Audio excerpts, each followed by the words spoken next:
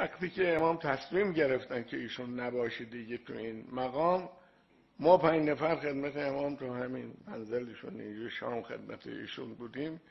ایشون به ما گفتن دیگه باید این کار رو بکنیم. ما گفتیم آخه ما این همه آمادگی پیدا کردیم که بعد از خدایی نکرده یه روز شما نباشید برجت داشته باشیم و دستمون خالی نباشه چه کار بکنیم؟ گفت دارید شما.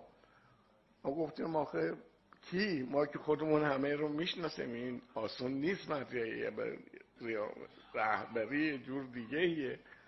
ایشون نگاه کرد به اینوها گفت همین آقای خامنه ای